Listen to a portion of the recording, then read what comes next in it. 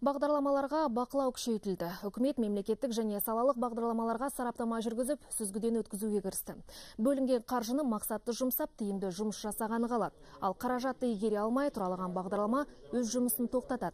2013-15 жылдарға арналған бюджетті нақтылау туралы заң жобасын талқылау барысында премьер-министр Серік Ахметов осылай деп мәлімдеді. Сондай-ақ үкімет басшысы бағыты бір жобалардың бір кетін жеткізді. Мәселен, өңірлерді дамыту мақсатында алты бірдей салалық бағдарлама қабылданған. Моноқалаларды дамыту ақбұлақ қолжетімді баспана сияқты жобалар аймақтардың көркеуін көздейді.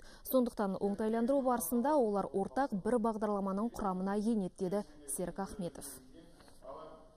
Президентіміз өткенде үкіметтің кеңейтілген отырысында үкіметке желтоқсан айының біріне дейін мемлекеттік және салалық бағдарламаларды оңтайландыру және қаржыландыруға байланысты ұсыныс енгізу туралы тапсырма берді көптеген бағдарламаларды тиімділігіне қарай сараптау жіктеу жұмыстары қалай жүргізіліп жатыр? Қазіргі уақытта барлығы 46 бағдарламаға ревизия жүргізіп жатыр. Оның ішінде 5 мемлекеттік бағдарлама 41 салалық.